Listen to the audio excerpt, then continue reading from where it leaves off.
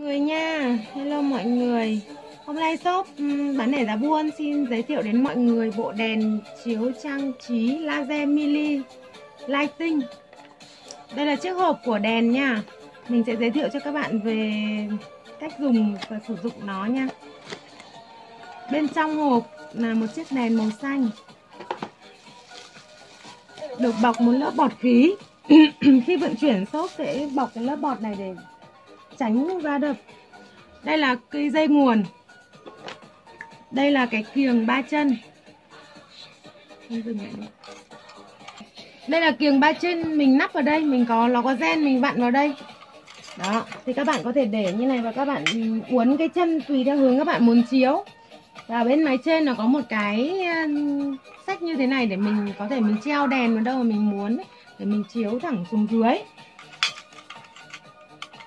Bây giờ mình sẽ cắm thử đèn cho các bạn xem nha.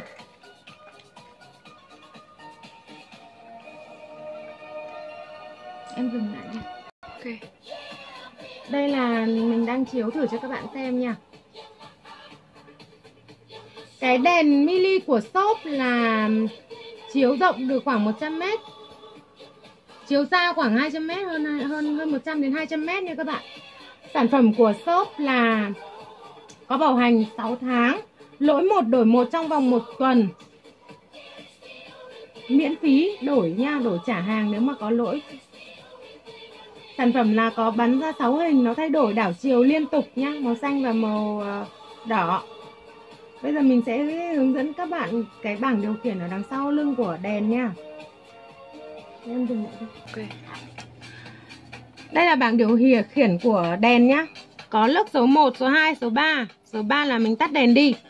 Số 2 là mình bật chế độ tự động Auto tự động. Nó sẽ đảo chiều, nó tự chuyển động, nó đổi hình. Chế độ 1 là chế độ cảm ứng theo nhạc.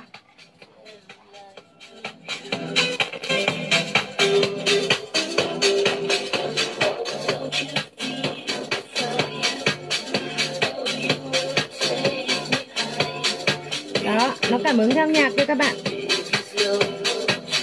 là loa của shop nhỏ nên nó cảm ứng chậm, nhưng nếu mà vào đúng phòng karaoke nó đúng thì nó sẽ tỏa rất là nhiều và rộng và nó nhanh hơn. Vâng. Còn đây là chế độ à, mình để về chế độ auto nhé, nước số 2 cái cái nút vặn này này, nó là chế độ chỉnh nhanh à, chuyển động nhanh và chậm và đứng im của đèn. Đây, mình vặn hết chỗ về bên tay trái, nó sẽ đứng im lại theo cái hình mà mình mong muốn. Đấy, còn mình vặn với bên tay phải nó lại chuyển động. Vặn hết cỡ thì nó chuyển động nhanh Còn vặn giữa chừng thì nó sẽ chuyển động chậm hơn. Sản phẩm của shop có giá là 220.000 nha các bạn. Mọi người à, mua hàng có thể liên hệ trực tiếp ừ, với shop qua số điện thoại shop có đăng ở trên bài viết còn nếu mà muốn mua các bạn có thể comment trực tiếp ở trên clip ở youtube nha. Mình xin phép dừng clip tại đây, chào các bạn nha.